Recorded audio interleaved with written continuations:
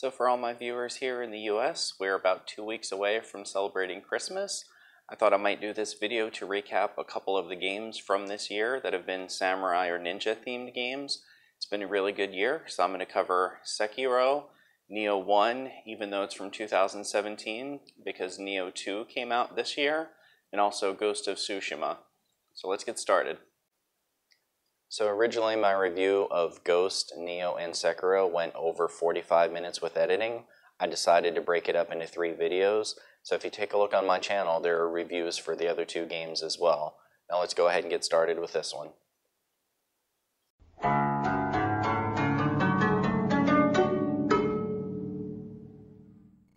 Now let's cover the Nioh series. For Nioh 1, I've got over 350 hours into it. I made it to Way of the Nioh, which is New Game Plus 4, meaning that I've gone through the game five times. There's an end game thing called the Abyss, where you go down floor by floor by floor. I made it down 50 some floors. Uh, it's really long and arduous, and I simply didn't want to spend the time going through all the rest of those floors, but I've got a lot of hours into that. that hmm, excuse me, got a lot of hours into it, so I feel like I have a pretty good grasp around reviewing it. For Nioh 2, there are only two DLCs out so far. So I'm on New Game Plus 3 and about halfway through that, which is Dream of the Wise. The last one, which is DLC 3, should be Dream of the Nioh if they follow the same paradigm as Nioh 1. So I'm about three quarters or more through Nioh 2 as well. Now, Nioh 1 came out in 2017 and has had three DLCs since then. Nioh 2 just dropped here in 2020, has had two DLCs. There's a third one that's coming out in December this month. And the complete edition, which will be coming out for PC, which will be the base game plus all three DLCs, will be coming out in February. I think I'm going to hold off on the third DLC and get that complete edition for PC, just like I did for the first Nioh. Uh, I'm partial to playing on the PC just because I like Steam for it. PlayStation 4 has been fine, but there's something I'm just more partial to Steam for that. Now, as far as platforms, both Nioh and Nioh 2 are available for PlayStation 4 or PC, with the caveat that, as I mentioned, Nioh 2 will not be available for PC until February 2021. For difficulty, I would say Nioh 1 is actually a little bit harder than Nioh 2 is. I would give Nioh 1 a hard difficulty for sure. It's the first game where I've been stuck on the essentially tutorial mission and first mission for almost 12 or 15 hours. I don't remember exactly how long it was, but it was a couple days worth. There's a lot of difficulty spikes in the game that people frequently get stuck on, and by following some of the forums on Reddit, I've seen people getting stuck on the same thing, so I would certainly call that a high. Nioh 2 has some quality of life improvements and has also scaled back the difficulty just a little bit. It's easier than Nioh 1, and it's probably about on par with the difficulty of Sekiro. Now the environments for Nioh 1 and Nioh 2, they're very good. They're very similar to Sekiro, same sort of theme. They look very Japanese. You can definitely tell where you are. The graphics are up to par for modern standards. There's nothing that I can really find fault with on them. Now, as far as setting for both Nioh 1 and Nioh 2, they're set in sort of a parallel universe sort of Japan, I guess is the only way I can think of to describe it. It's based in Japan in actual historical settings with historical battles, with historical people, and some events that may or may not have happened, similar to any of the Assassin's Creed games if you've played those, except with the addition of yokai, which are Japanese demons, monsters, ghosts, uh, supernatural things to that effect. So you're not only fighting humans, half of what you're fighting in the game are these different yokai beasts, which I found really interesting because I find yokai in general to be a fun subject. So seeing them all in Nioh and being able to pull up the information on them within the game once you've killed them a certain number of times it was really cool to be able to read more about some of them that I got to fight in the game that I didn't actually uh, recognize in any way before. So it was a nice little learning experience as well. Now, as far as the world type, it is a map by map mission based system. So you see a map, you pick a dot on the map to do your mission. There's no open world exploration, it's completely self contained within those missions. And within those missions, every primary mission that had a specific map that map often gets reused for submissions. Now they'll put blocks in certain things so that you have to go alternate paths for it, or they'll put different goals so that what you're looking for is in a different spot, but the entire area is the same. So once you've learned the map, that comes in handy for any of the subsequent missions that also use that same map.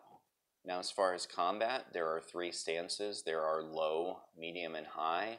And within low, medium, and high, you have a light attack and a strong attack as well as each specific weapon getting its own set of skills that are unique to that weapon. There are also a lot of weapons. There are six or seven for Nioh 1 for melee weapons and three for ranged. Nioh 2 added another four weapons to that mix. So there's a wide variety of weapons, a wide variety of skills. The combat is very, uh, very good for that. It's one of the strongest things to the series is its combat. Now there is a stamina system similar to Dark Souls. It's called Ki, but it's basically the same sort of thing. You have a bar when you attack, it takes away something from that bar, and as that bar eventually depletes all the way down, then you get winded, which means you can't attack and you're highly susceptible to any attacks from the enemy. Certain skills take more ki to perform, heavy attacks take more ki to perform. There are stats you can raise that gives you more ki or makes it recover quicker it's a nice little way to balance so that you're not just running in and trying to attack, attack, attack, attack. So even though it doesn't have a posture system like Sekiro, it tries to keep things balanced by making sure that you can't just run around and do things willy-nilly like that. Even blocking takes ki, depending on the type of armor you're wearing, light, medium, or heavy, and your toughness rating and some other uh, intricate details for that. That affects how much ki you lose, even from blocking, from dodging, things like that. So it's a very cool system that really balances out between the different types of builds as well.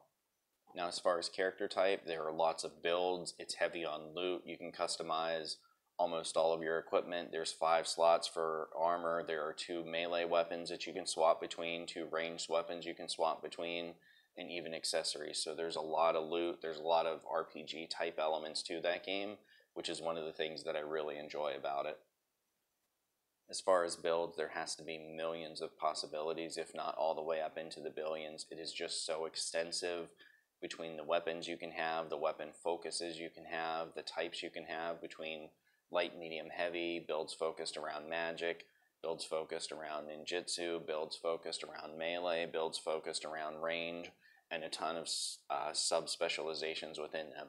It's just immense how well that this game allows you to pick your own customized build. And if you do a new game plus, you can completely change to a different one. There's a respec system where you can keep all of your experience and just reset your stats and try out a completely different build.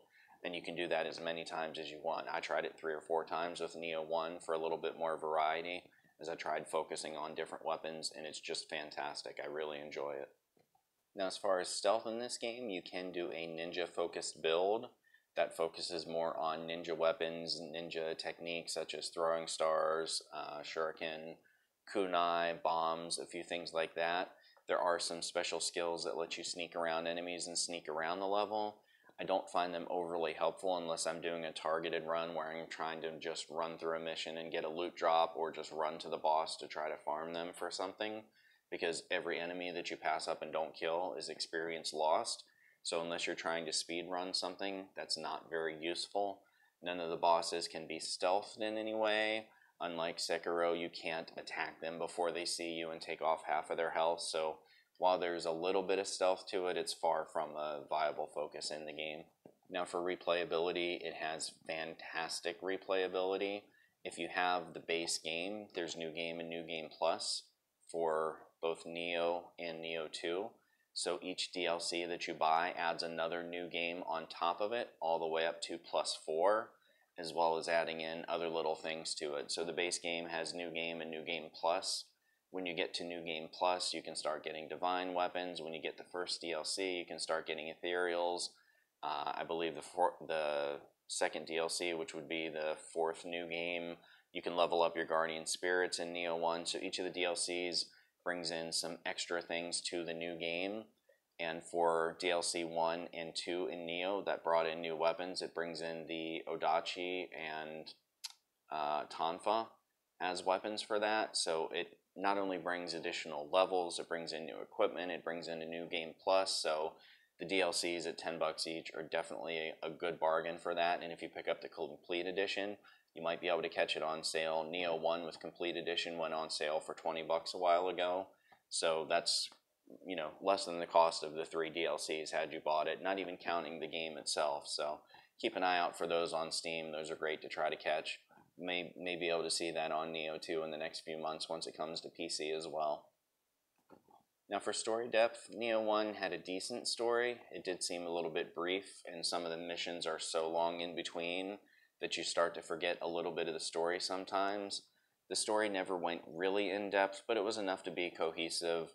I still enjoyed it. Uh, it was pretty good overall. There's some memorable bits. It's more memorable than Sekiro to me, but it still wasn't quite up to par with what I'd hoped for for a modern game but I very much enjoyed seeing all the people, the historical battles.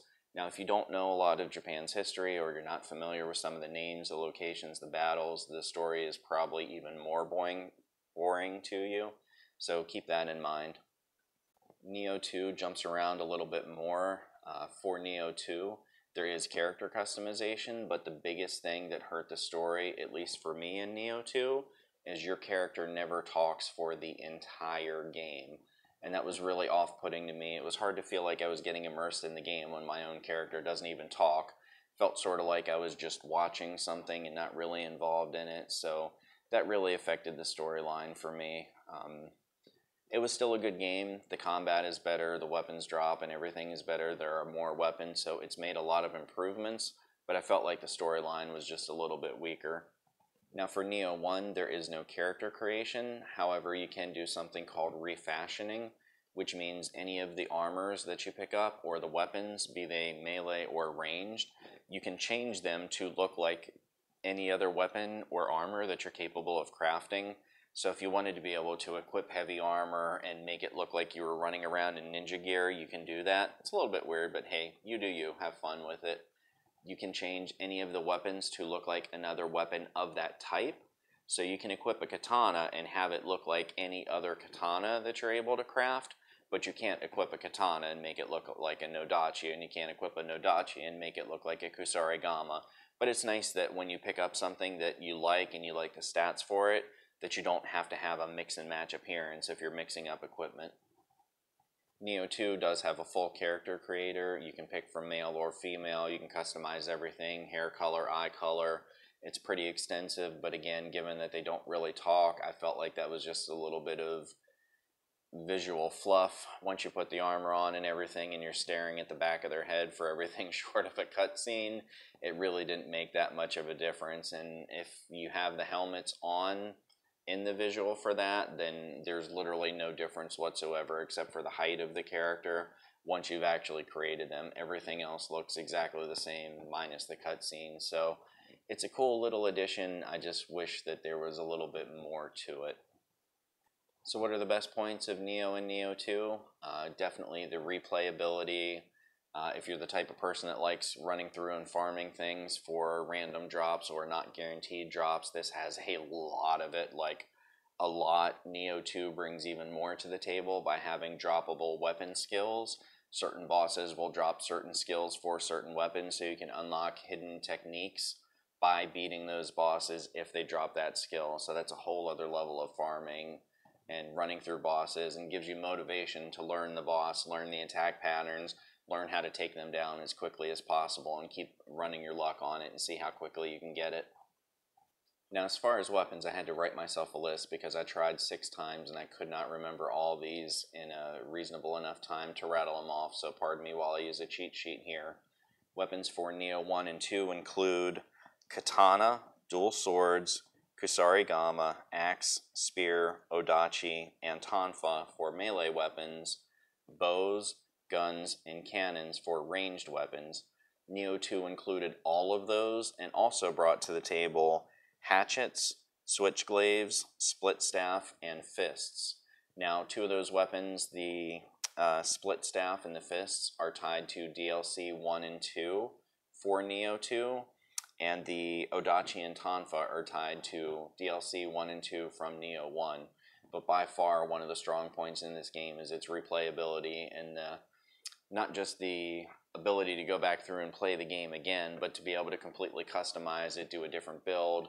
It's still the exact same storyline going through again, but the missions take on a whole different aspect if you tried a heavy Odachi tank build on one and you decide to go for a quick moving katana one on the next and maybe a ranged spear type build with some medium armor on the next. There's just a whole lot more that brings some variety to replaying the same level and same bosses in a different manner. So I would highly recommend going through some of the new games for that. Plus, on the new games for Nioh, there's a bar that you have to fill for progress into the next area.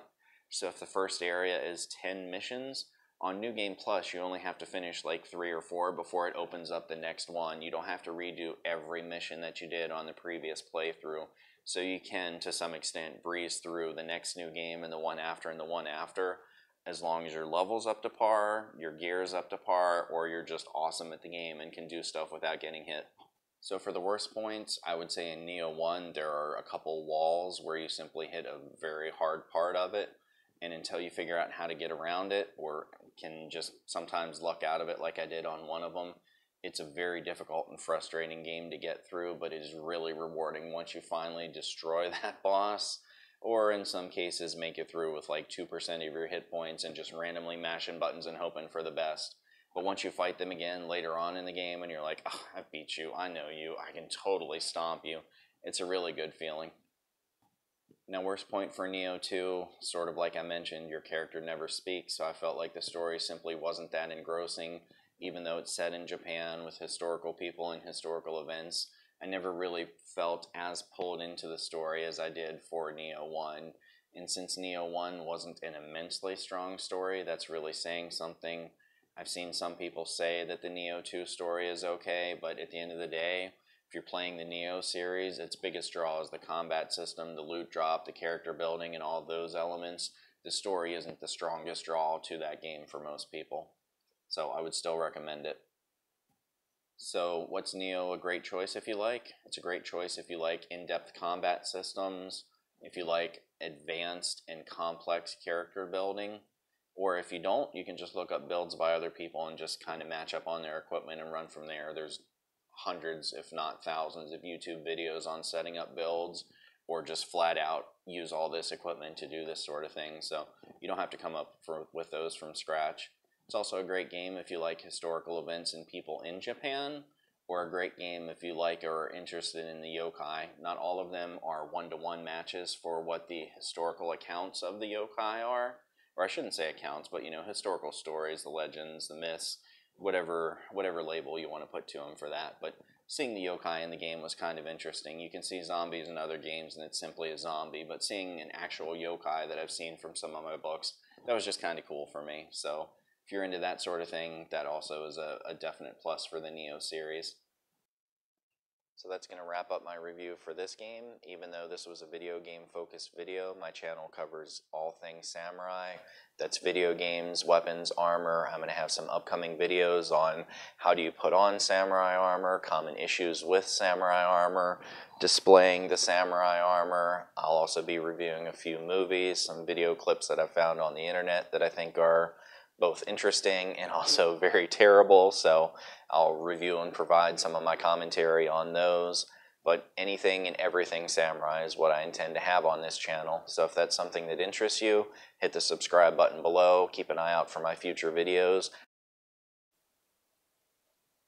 And with that, we're going to close out. This is Samurai James saying thanks for watching and sayonara.